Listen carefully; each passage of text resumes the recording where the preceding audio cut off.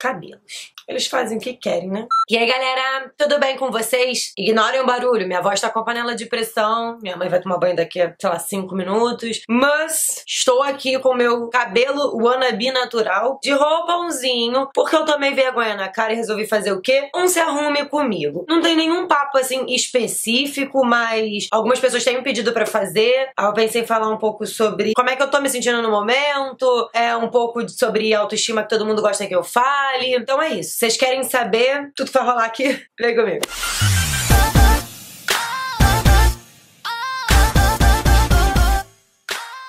Aproximei vocês um pouquinho, já não tô mais aguentando e vou prender o meu cabelo. Mas enfim, hoje eu tô indo pra Caxias, vou ver meu afilhado, então resolvi gravar antes, já que eu ia me maquiar de qualquer jeito. É, tô com a minha pequena, pequena, pouca coisa, necessária de maquiagem. É, inclusive tem vídeo aqui no canal de como eu arrumo meus necessários. Mas vamos lá, vou abrir aqui. Como vocês já sabem, eu vou deixar todos os produtinhos no box de informações, porque ficar mostrando aqui nesse vídeo que eu fico falando, marque o homem da cobra, entendeu? Fica, acaba ficando mais longo ainda. Queria começar falando sobre uma fase que eu estou passando. Tipo, eu vejo muito anime, né? Vocês sabem, eu já comentei muito aqui com vocês. Eu adoro. Tô numa fase de ver o Fairy Tail, que eu tô amando e tô, tipo, comendo com farinha. Mas queria falar um negócio que assim, eu sou uma pessoa que, apesar de eu não ser muito romântica eu mesma, for, né, com as minhas coisas no meu dia a dia, eu adoro ver uns troços assim que envolvam um romance. Tipo assim, tô vendo um anime. Ah, eu fico chipando o casal dentro do anime, entendeu? Foda-se. Só que, tipo, anime, quem assiste aí sabe que, tipo, não é tão assim romântico, pelo menos essa maioria que eu gosto. E aí, eu simplesmente comecei a ler fanfic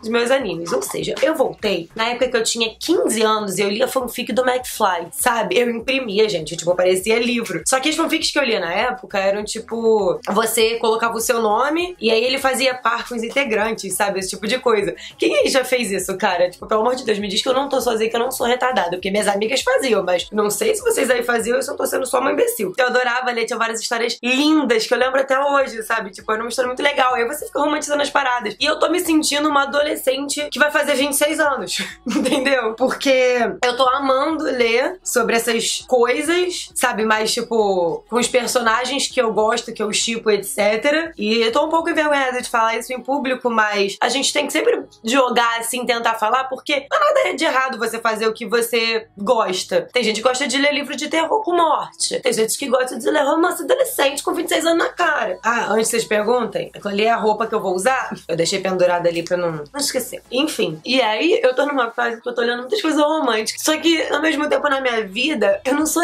um pouco. Só assim, fofa de vez em quando. Ai, esse band-aid tá me irritando, porque tá arranhando minha pele. e é muito engraçado, sabe, eu ver essa comparação. E aí eu começo a ler e eu fico viciada. Parece que eu tô lendo, tipo, um livro muito foda. E aí, muito interessante, assim. Tive que sair correndo, que meu cartão de memória encheu e eu não queria esquecer o que eu tava falando com vocês. Eu acho engraçado que isso me leva pra uma época que eu era muito inocente, sabe? Eu tinha uma outra cabeça, era uma outra parada. E ao mesmo tempo, eu ainda gostava dessas coisas. É legal ver que a minha essência não mudou, sabe? Tipo assim, óbvio que a gente mudou em si, mas quem eu sou não mudou. E isso é muito legal. Que isso me leva, tipo, pra um papo de autoestima também. Eu acho que o fundamental pra gente ter autoestima, gente, a base que eu tô usando é Natural Look que eu testei aqui no canal, mas eu sigo testando pra ver se ela não vai me dar espinha. Vai ser a terceira vez que eu tô usando, mas eu gosto muito do acabamento dela na minha pele. É, enfim, isso me leva muito pra um papo de autoestima, que eu acho que o essencial pra gente trabalhar nossa autoestima é a gente se conhecer, se olhar com olhos de quero saber quem você é, quero te aceitar, sabe? E não já, tipo, fazendo aquele julgamento por, enfim, N outras coisas, sabe? Eu acho que a gente tem que se conhecer sempre, porque a gente muda mesmo não perdendo a nossa essência. Que é, é lindo isso, sabe? Esse autoconhecimento e essa aceitação que, que traz. Eu acho que a gente só vai poder ter uma autoestima assim legal se a gente aprender a se amar. E é um processo, gente. Não é uma coisa fácil, não é uma coisa que acontece da noite pro dia. Eu ainda tô tentando muito isso na minha vida, sabe? Por exemplo, até esse negócio que eu falei do anime agora. Eu comecei. Do anime não, né? Da fanfic. Eu comecei a ler e eu, eu mesma tava me julgando por estar fazendo uma coisa coisa meio tipo adolescente, como se fosse idiota, e não queria que ninguém visse, que ninguém soubesse e tal. E agora eu tô falando aqui para todo mundo, entendeu? Porque eu acho que é importante, faz parte de mim eu ser, sei lá, às vezes uma adolescente que quer ler histórias românticas e foda-se. E isso ajuda a eu me conhecer melhor, a eu entender quem eu sou. Sempre, tudo sempre vai ajudar. Tudo faz parte de quem você é. O que você lê, o que você faz, é, que tipo de maquiagem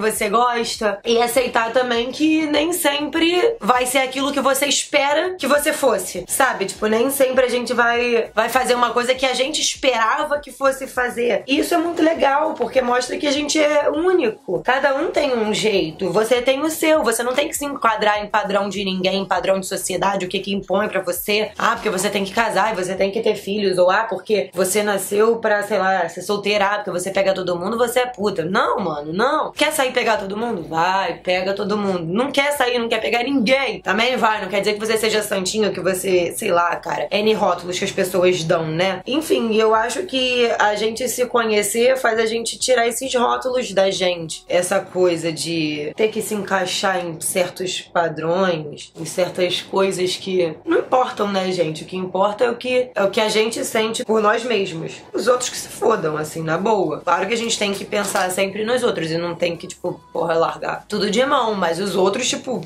pessoas do nosso redor que a gente ama, que a gente não quer magoar e não, tipo, ficar pensando nos outros, tipo, ai, o que que vai achar de mim? E será que vai ah, me achar escrota? Mano, seja quem você é, sabe? Eu acho que a autoestima é uma coisa que a gente trabalha. Tem dia que a gente acorda se achando uma deusa grega, pelo amor de Deus, quem é essa na minha frente? Quase não reconheço. E tem dia que a gente olha e fala assim: Meu Deus, que caco. E, tipo, não tem nada de errado nisso, sabe? Eu acho que é um processo. A gente tem que, como eu já disse, trabalhar isso e entender as nuances de um processo como esse. Que não tem problema nenhum de eu estar tá me achando, sei lá, esquisitona e falar assim: meu Deus, sei lá, olha esse nariz, eu quero uma plástica agora. E tem dia que você acorda e você fala assim: nossa, que perfeição. E tudo bem. Não é errado você querer mudar uma coisa que te incomode. Também não é errado você se achar maravilhosa e não querer mudar muda nada em você, entendeu? Mas eu acho que são fases, não é sempre que a gente tá amando tudo, não é sempre que a gente tá odiando tudo. Eu só acho que a gente tem sempre que tomar cuidado com os exemplos que a gente toma pra nossa vida. Tipo, internet, sabe? Eu trabalho com internet e eu tento fazer o máximo para não passar nada que não seja verdade para vocês, sabe? Eu não vou ficar postando sobre autoestima se eu estiver me sentindo um lixo, sabe? Tipo, falando, ah, gente, se ame e não sei o que, e não sei o que, sendo que naquele dia eu photoshopei minha foto em inteira e resolvi, sei lá, falar sobre autoestima. Tipo, não é legal, sabe? Tipo, as pessoas photoshopam e, enfim, né? Postam as coisas mudadas, o que não é problema nenhum, gente. Se você tá inseguro e quer mudar, eu mudo meu nariz em várias fotos. Eu já mostrei isso pra vocês aqui em vídeo de, de edição que tem aqui. Eu já mudei meu nariz mesmo, porque às vezes sai torto, às vezes ele não condiz com a realidade, às vezes ele condiz, mas eu não, não quero que ele condiz, eu quero que ele fique nariz de Bratz. E foda-se, gente, também, não tem problema, sabe? Eu só acho que a gente tem que tomar cuidado com o que a gente vê, porque nem tudo é real realidade. Nem tudo é, é o que parece, sabe? Muitas vezes a gente fica olhando e fala assim: nossa, a vida daquela pessoa é perfeita. Ai, aquilo que acontece com aquela pessoa, nossa, olha que incrível e tal. E duas coisas. Uma, a gente nunca sabe é, o que aquela pessoa realmente passa, né? Porque o que ela mostra na internet, tipo, a internet, ninguém quer mostrar suas dificuldades, ninguém quer mostrar que tá com problema, ninguém quer mostrar que, sei lá, cara, que o dia tá sendo uma bosta, entendeu? Então, tipo, a pessoa bota bota o seu melhor sorriso e tira uma foto e fala sobre autoestima, e aí muda e quer falar sobre a corpo, não, não existe corpo ideal. E assim, realmente, não existe corpo ideal. Ai, meu é feio. O seu corpo ideal é o seu, sabe? Seu biotipo não tem que se encaixar num biotipo dos outros. A modelo de capa de revista tem um corpo que às vezes não condiz com a sua genética. É genética, sabe? Então, assim, não adianta você querer atingir aquilo. Claro que você pode tentar sempre atingir o seu desejo, mas não adianta você colocar aquilo como uma meta se, se não é uma coisa palpável, sabe? Tipo, você sempre pode querer ter saúde, que é palpável para todos, você pode querer fazer N coisas, mas colocar um, um certo modelo, né, na sua cabeça de cor que não é condizente com o teu biotipo, você só vai estar tá se frustrando, sabe? Tipo, eu, ah, eu quero ficar igual, sei lá, Gigi Hadid. Mano, não vai dar. Nós somos diferentes. Somos pessoas diferentes. Nosso corpo é diferente. A nossa genética genética é completamente diferente, entendeu? Então, assim, não adianta, eu tenho que chegar no ideal para mim, no que eu acho que é legal para mim e não no que é legal pro outro e eu acho que vai ficar bonito em mim. Tá entendendo? Eu acho que a gente não pode se colocar esses estereótipos como se fosse o crucial, senão, ai meu Deus, eu vou morrer. Porque senão realmente você vai morrer tentando um negócio desse e frustradíssima. Gente, esse é o tutorial detalhado de contorno no nariz. Vou passar isso rapidinho aqui pra não demorar muito. Enfim, e eu acho que deve ser uma sensação muito ruim você passar a vida inteira frustrada assim, por não conseguir atingir uma parada que é inalcançável. Claro que a gente pode lutar por tudo aquilo que a gente quer, mas eu acho que a gente também tem que ter noção mesmo. Cara, eu tenho noção que meu corpo nunca vai ser igual ao da Gigi Hadid. Estilo de vida, trabalho, biotipo. Então, para que que eu vou tentar atingir o que o, o tipo de corpo dela, se o meu é, enfim, completamente diferente? Então, eu acho que assim, isso é, é, um, é uma coisa que a gente tem sempre que pensar quando a gente quer falar de, de autoestima. E assim, acho que eu me fiz entender. Tudo você pode correr atrás dos seus sonhos, mas eu acho que a gente tem que ter noção mesmo. E eu queria até aproveitar pra gente falar de outras coisas, que eu tô falando de tudo um pouco aqui, já que a gente falou inclusive de corpo feminino e tudo mais, que é sobre a competição feminina, sabe? Que eu tô falando aqui, tipo, a gente fica querendo o corpo do outro, aí às vezes, tipo, da, né, da outra mulher, e aí a gente fica, tipo, invejando aquilo e, enfim, criando competição na nossa cabeça. Eu acho muito feio isso da gente querer competir com outras mulheres, sabe? Eu acho que a gente tem que se unir, sabe? Que o bonito bonito é isso, é a gente tá junto. Pra que que eu vou ficar competindo, sabe, com, com, uma, com uma pessoa que tá passando pelo mesmo que eu, pior do que eu? Enfim, nós todas estamos lutando por um mundo melhor para todo tipo de mulher. Preta, branca, azul, amarela, foda-se. Eu acho que a gente tem que pôr na nossa cabeça que não tem que existir essa competição, sabe? Que, é, por exemplo, vamos botar um, um caso clássico, tipo, ah, eu gosto mais da Ivete Sangalo do que da Cláudia Leite. Mano, você não precisa não gostar de uma pra gostar da outra. Você pode gostar das duas, pode não gostar de nenhuma. É claro que você não precisa gostar de alguém só porque ela é mulher e porque, enfim, sororidade, entendeu? Mas você não precisa também não gostar de cara e criar competições. Tipo, ah, tô na balada, meu namorado tá lá, e aí você fica olhando feio para as mulheres porque, ai meu Deus, todas elas querem o meu macho. Claro que se você vê alguma coisa que não é legal, que você realmente esteja achando abusivo, você tem que falar. Mas assim, quem te deve respeito, né, quando se trata de relacionamento, é o seu parceiro e não o outro. Conversa com teu parceiro, conversa com a pessoa que tá com você. Que a gente tem que ter confiança em quem a gente tá, né, gente? Independente do outro. E a gente não tem que ficar criando essa competição. Acho que não tem a menor necessidade. A gente tem que dar o braço e lutar pelos nossos direitos sempre. Eu não tô querendo empurrar a goela abaixo de ninguém falando que você é obrigada a gostar de toda mulher no mundo, sabe? Não, já disse isso aqui, porque era uma dificuldade minha início que eu falava, pô, mas se eu não gostar daquela pessoa, eu tenho que, tipo, ah, gostar só porque ela é mulher, porque eu, sei lá, eu sou feminista. E não, claro que não, você tem todo o direito de não gostar de uma pessoa. Mas aí é que muda o julgamento. Você não gosta dela porque ela é uma pessoa que não te agrada. Não porque ela é uma mulher e você acaba competindo com ela involuntariamente. Porque todo mundo sempre ensina tudo, né? É ensinado pra gente pela sociedade como se a gente devesse competir. E só mulher, né? Homem não tem que competir. Homem é, é brother, entendeu? A gente tem que lutar contra isso sempre, sabe? É... Gente, vou fazer minha sobrancelha fora da câmera, que é chato e demora e tal, e aí eu volto pra gente continuar esse papo. Pronto, fiz a sobrancelha, já passei um corretivo aqui, vou espalhar agora. Sobre o que a gente tava falando, eu acho que eu já falei isso em milhões de outros Se Arrume Comigo Aqui, porque feminismo é uma parada que eu tô sempre aprendendo e lendo e querendo saber mais. E eu acho que tem que ser assim, tudo que a gente quer aprender, a gente tem que realmente procurar e se esforçar e tentar conhecer. Que é assim mesmo, sabe? A gente gente nunca sabe tudo sobre uma coisa. Tudo que a gente quer, tipo, entender, a gente tem que ler e procurar sobre e ver sobre. Em qualquer meio, qualquer plataforma, tudo é uma forma de aprendizado, sabe? Tanto a experiência de você viver aquilo, quanto você ler e conhecer pessoas que passaram por certas coisas que te fazem refletir. Eu acho que tudo é válido, sabe? E o feminismo não é diferente. Eu tô sempre aprendendo sobre. Tem coisas que às vezes eu tenho que controlar minha mente de tipo, sei lá, eu olho uma foto e julgo, tipo, nossa, por que, que essa pessoa postou essa foto? E normalmente essa pessoa é uma mulher. E aí eu olho e falo assim, gente, foda-se, a pessoa postou porque ela se achou linda, maravilhosa, deusa. A foto é dela, se ela gostou, empodera mesmo, maravilhosa. Porque ao invés de eu julgar, eu não dou força para essa pessoa se sentir bem consigo mesma? Eu não sei o que, que ela passa na casa dela pra eu sair julgando e falando e, enfim, né? Claro que eu não vou falar pra pessoa, mas tem menor necessidade, sabe? De eu olhar e julgar aquilo. É igual as pessoas gostam de tratar, tipo, o fato de ser gorda como um defeito. Ser gordo não é defeito. Tipo, olhar e falar assim, nossa, tá gorda, tu tá magra demais. Não é defeito, entendeu? Cada um é de um jeito. E aí, a gente entendendo isso, eu acho que a gente também consegue pensar um pouco mais na gente, na nossa autoestima. Caraca, realmente, se isso não é defeito, por que que eu tô me julgando por ter, sei lá, celulites, estrias, gordurinha mais, dobrinha? Claro que tem dia que a gente acorda odiando isso tudo e quer matar um. Normal.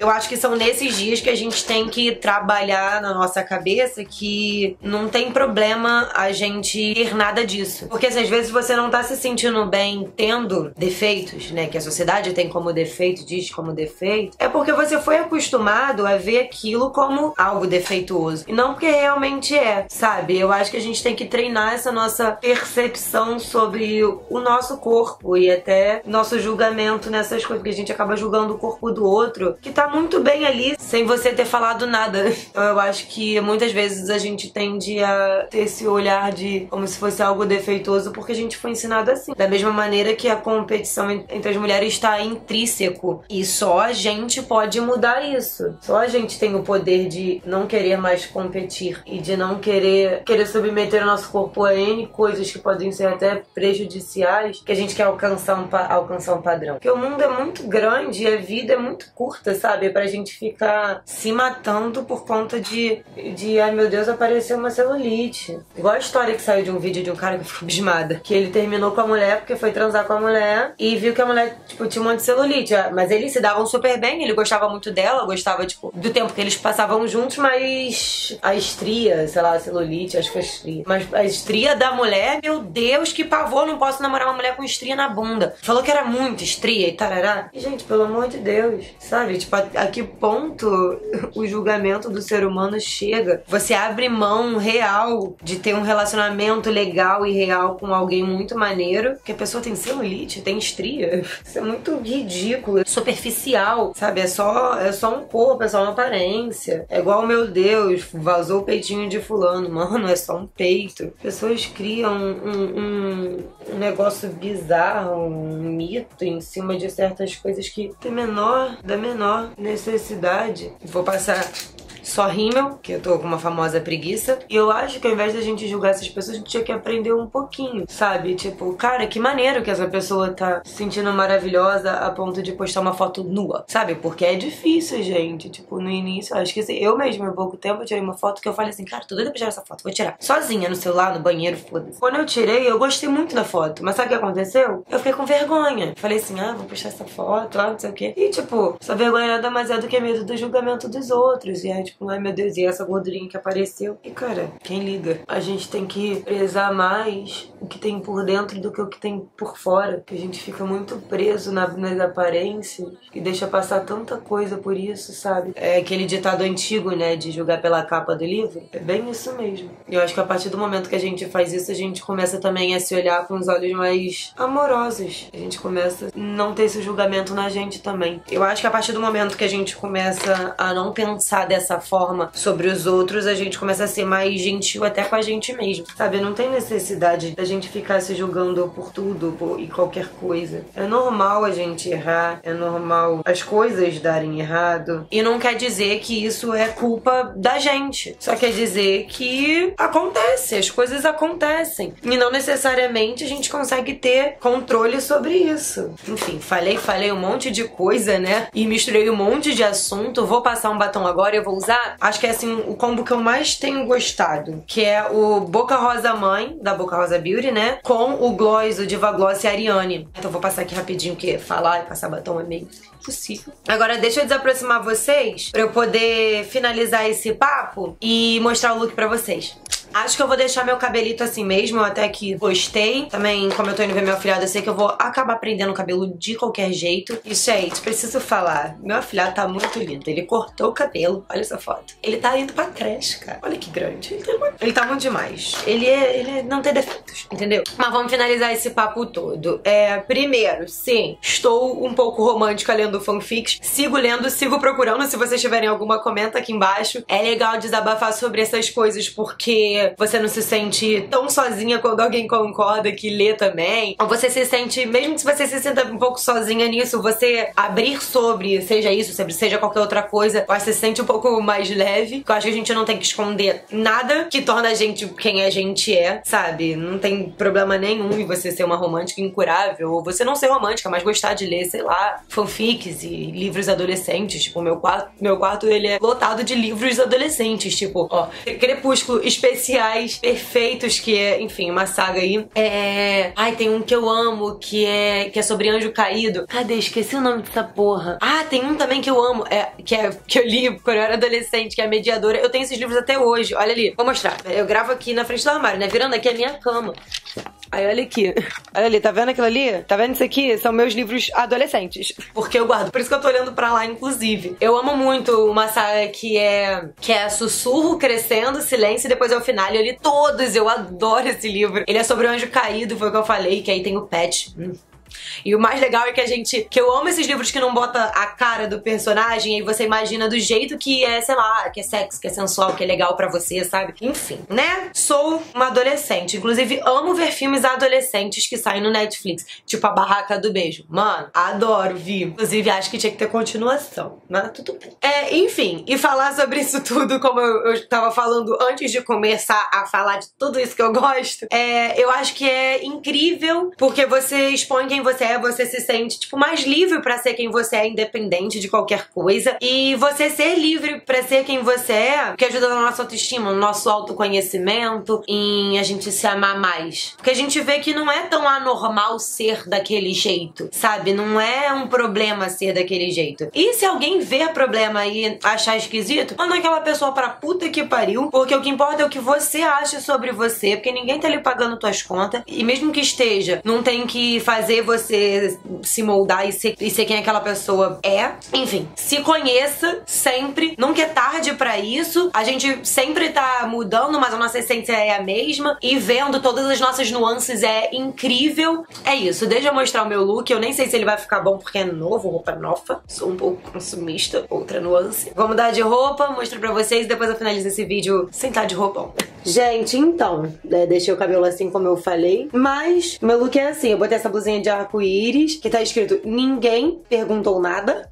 Minha cara. E eu botei essa minha calça, que ela é de risquinha assim, mas ela é mais pra malha. E botei essa botinha. A meia que eu botei é uma do Star Wars da sessão infantil. Estou full Renner, tirando a minha bota que é Zara. Ó, faz um tempão que eu não boto uma bota assim. E eu acho lindo, eu amo. Tô aproveitando que eu estou levemente dobrado e tô botando as coisas pra rolo. Mas é isso. Este é o look completo. Vamos voltar à programação normal pra me despedir de vocês. O ar resolveu gritar. Mas é isso, gente. O look é esse. Me diz aí, vocês usariam um look assim? O que, que vocês acham? Tem vídeo de como eu gosto de montar meus looks aqui. Vou deixar nos cards também pra vocês. Espero que vocês tenham gostado desse vídeo. Se sim, não esqueça de deixar o like de vocês. Ele é muito, muito, muito importante pra mim. Eu tenho que me policiar pra falar isso no início do vídeo, porque nem todo mundo chega até aqui me macoa. Mas de qualquer maneira, vamos continuar. Se inscrevam aqui no canal e clica no sininho, que aí vocês não perdem nenhum vídeo, tá? Seja um se arrume comigo que finalmente fiz outro, mas é porque também não acho legal eu simplesmente só ligar a câmera e falar um monte de baboseira que não significa nada pra mim. Mas de qualquer maneira, eu tô sempre conversando com vocês lá nas redes sociais, sempre tentando bater um papo, tá mais presente. Então,